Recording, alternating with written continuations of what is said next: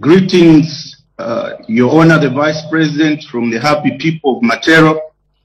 Your Honor the Vice President, the world is on the verge of brink of a third world war. Russia has attacked Ukraine plus uh, USA being supported by the other Western countries. Your Honor the Vice President, my question is, what's our foreign policy as of today? Are we supporting Russia or we are supporting Ukraine and the group backing them?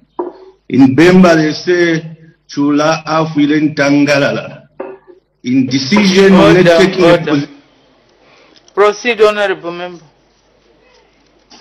Chula Afwiden Tangara, I'm sure the Honorable Vice President knows that saying very well. In decision being undecided over a position, you end up one leg on the right and the other on the left, and you get split in between like the proverbial frog. And if we take a position, Madam Speaker, are we seeing us one day sending youths to back up the side that we will send and if we will support? And if so, can we as MPs start mobilizing the youths to be on standby? The brave youths, of course, not the ones from the east. I thank you, Madam Speaker.